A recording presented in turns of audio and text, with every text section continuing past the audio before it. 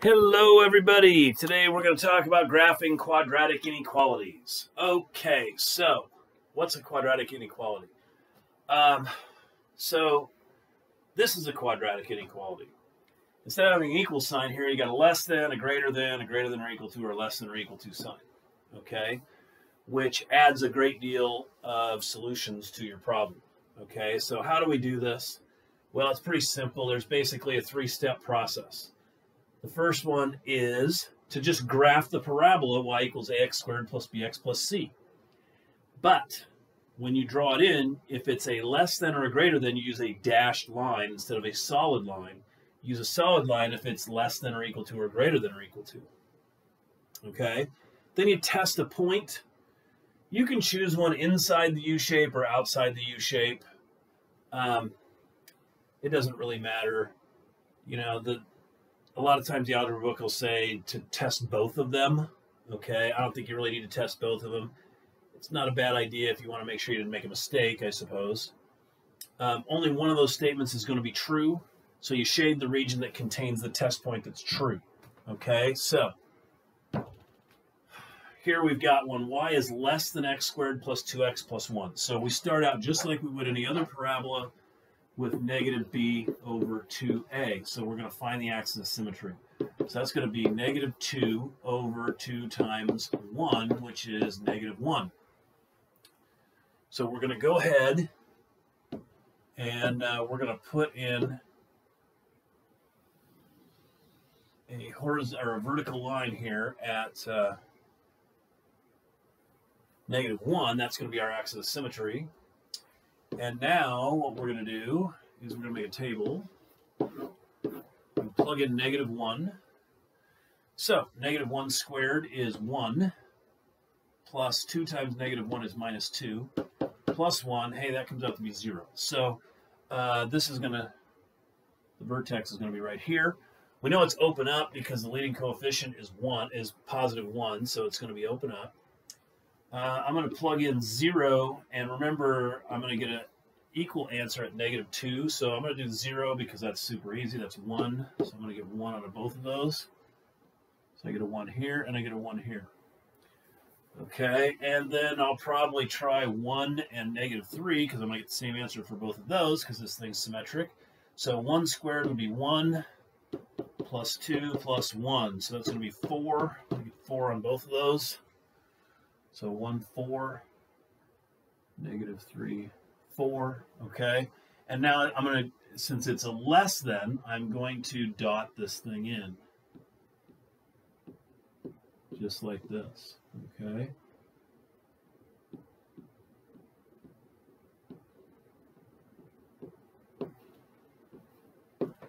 So there's my parabola. Now, uh, now I'm going to pick a point and test it. Okay. Um, so if I pick a point, I pick just some random point. Like I could choose um, negative one. Actually, a really easy one would be zero and three. This point right here, that's inside the parabola, inside the U shape. So the y coordinate would be three, and the x coordinate would be zero. So it'd be zero plus zero plus one. So this says that three is less than one. That's not true. So that means that the solution to this thing is out here. All these points are solutions, okay? And they're solutions right up to this parabola, but not the parabola. Okay, so there's my answer. Now you can shade this in kind of solid if you want, but I'm not going to do that on here because it would take me forever. Um, okay, so let's look at another one. So graph the inequality y is greater than or equal to negative 2x squared plus 4x plus 3. So again, I'm going to uh, go ahead and do negative b over 2a. It's going to be negative 4 over 2 times negative 2, which is going to be 1 this time. So I'm going to have a vertical line here at 1.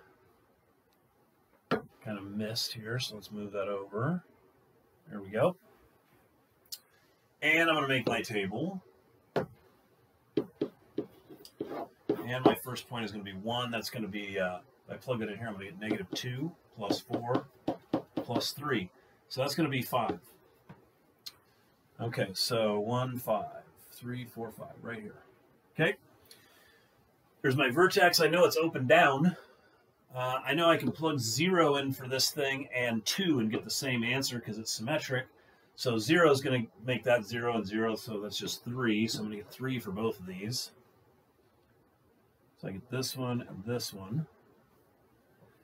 And then I'm also going to get the same answer for negative 1 and 3. It's probably a toss-up as to which one's easier. If I plug the 3 in here, I get 9 times negative 2 is negative 18. And then I get uh, 3 times 4 is 12 plus 3. So this is going to come out to be negative 3 on both of these. So negative 3 here, negative 3 here. Now, this, since it's a greater than or equal to, is going to be solid. So I'm going to go ahead and make a solid curve in there like that. And now I need to test a point. Okay, so, oh, what if I chose, um, what if I chose this point right here? What's that point? One, two, three, four, five, six, seven. Okay, so 0, 7. So 7 would be y. And I'd have 0, which is going to be 0 plus 0 plus 3. And that is definitely a true statement. So that's a solution, which means everything up there is going to be a solution. Let's try it this way. Um, let's try the highlighter this time. And we'll go ahead and shade in all of this. Okay, that's going to be my solution right there. Now you can kind of cheat a little bit. See how this says greater than or equal to? Um, that means I'm going to shade above the curve. And on this one, it was uh, less than. I shade below the curve. Okay? All right. So now this method works for any shape. So if I look at this, this is not a parabola. This is a line. So if I graph a line, uh, y equals 1 half x minus 4. Okay, so it's going to have a y-intercept of negative 4. That's going to be right here. It's going to have a slope of 1 half, so it's going to rise 1 and run 2. So it's going to go here and here and here and here. Okay. Just like that. I can go ahead and make a line that fits that like that. That's pretty good. This is greater than, so it's dotted. Let's make it red because everything else here is red. Okay, so there's my line. Okay, and now I just test the point. So if I test 0, 0, that'd be an easy one to test right here. Um, 0 would be greater than 1 half times 0 minus 4, so 0 would be greater than negative 4. Well, that's true. So I can go ahead and uh, I can shade everything up here.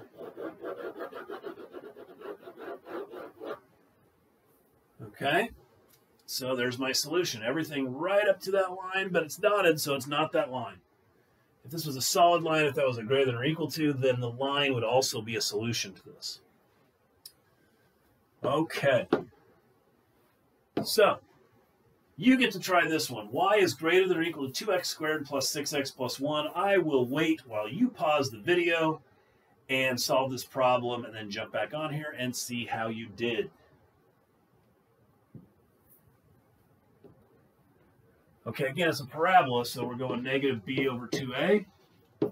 Uh, b is 6, so that's negative 6 over 2 times 2. Ooh, that's going to be negative 6 over 4, which will reduce to negative 3 halves. Okay, so I get a nice vertical line at negative 1.5. Right about, oh, nailed that one. Okay. And unfortunately, I got to put a fraction into this thing. Um, but sometimes you have to do that. So, too bad. Okay, so uh, let's see. Make my table uh, 3 hat, negative 3 halves, so we just negative 1.5. We can plug that in there. So this is going to be 2 times negative 1.5 squared plus 6 times negative 1.5 plus 1.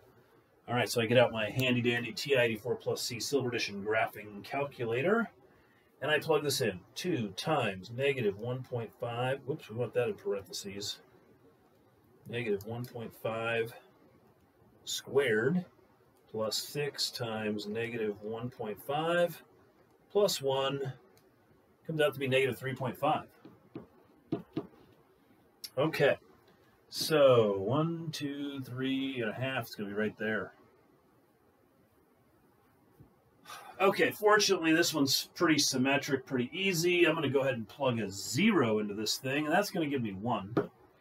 And I'm also going to get the same thing at negative three. I'm going to get one. So zero, one, and negative three, one. Okay. Uh, pretty narrow one. Let's see. If I plug in uh, 1, that should be pretty easy. 1 and negative 4 should give me the same answer. So that would be uh, 2 times 1 squared plus 6 times 1 plus 1. So that's going to be 2 plus 6 is 8 plus 1 is 9. So both of these are going to be 9. Uh, it's going to be here and here. Okay, uh, it's a solid, okay, because it's greater than or equal to, so it's going to look like this. Just like that. I want greater than or equal to, so I get to shade uh, the inside of this thing. There's my solutions. Okay. Piece of cake. All right. Here's one that's going to blow your mind. Okay, we get to do two things on the same graph. So we want y is going to be, we want the solutions where y is greater than or equal to x squared plus 4x minus 5, but we also want the solutions that are the solution to this equation at the same time, so y has to be less than 1 half x plus 1. Okay, here we go. You ready? So we'll start with the hard one here, negative b over 2a. That's going to be negative 4 over 2, which is going to be negative 2. So we get an axis of symmetry at negative 2 right here. Oh, that's not what we wanted. Let's try that again. Much better. Okay, there's our axis of symmetry. Then we're going to go back here. We're going to plug in negative 2 to this thing. So we're going to get negative 2 squared. Don't forget to put that in parentheses. Plus 4 times negative 2 minus 5. It's going to be 4 minus 8 minus 5. Wow, that's going to be uh, negative 4, negative 9. Negative 2, negative 9 is going to be right here. Okay, and if I plug in uh, 0, I'm going to get five, uh, negative 5. 1, 2, 3, 4, 5 right there. I'm also going to get negative 5 right here. Okay, so that's at what, uh, negative 4. And I'm going to try to plug in 1 and negative 5 into this thing. So I'm going to plug in the 1 because that's going to be easy. That's going to be 1 squared is 1 plus 4 minus 5. Hey, that's 0. I always like to have a um, an x-intercept if I can get it. Okay, so we got the x-intercepts there. Okay, this is greater than or equal to, so I'm going to go ahead and uh, make a solid line here. Just like that. Okay. Now, if I was greater than or equal to, I would shade the whole inside of this, but we're not done yet because we have to deal with this. So this one has a y-intercept of 1. It's a line. Whoops, that's not a y-intercept. Because the y-intercept would be right there. Okay, and it has a slope of 1 half, so it's going to rise 1, run 2. It's going to go this way here. All right, let's go ahead and draw a line in here. Like this. Okay, and we're going to go ahead and, whoops, that's not what I want. Let me go ahead and make that green because we're doing that in green. Okay, So now I want everything that's less than that. Okay, so what am I going to get? I am going to get, uh, I'm going to get this region right here. I'm going to get everything lower than the green line that's also above the purple parabola.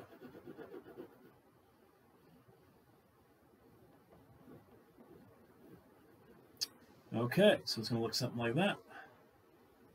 The parabola is going to be a solution from just below this green line all the way to just below the green line right there. The green line right here is not a solution to this, so I would not include those answers. So there we go. I got two things going on at the same time. I got to be below the green line. I got to be above the purple parabola. Say purple parabola five times fast. That's fun. Okay, moving right along. Um, is the point 210 a solution to this? That's super easy to do. Um, so here's my x, here's my y, just plug it in. So 10 is greater than 2 times 2 squared minus 2 plus 9. And I just got to figure that out. So this is uh, 4, 8 minus 2 plus 9. And that's uh, 6 plus 9 is going to be 15. And is 10 greater than 15? That's a big no. Not a solution. Now the tricky ones, the tricky ones on these are when this is, uh, when it actually is equal to. So let's say I work this out and I got 10 over here, so 10 was greater than 10. Well, that would not be a solution to this one. Okay, but if this was greater than or equal to and it's 10 equal to 10, then that is a solution. Okay, so you can probably handle those pretty easy. They're pretty easy. So there's your assignment. Um, got a couple of pages here. Not a whole lot of problems today. Okay, 12 problems. You should be able to handle that. I will see you guys later. Have a good evening.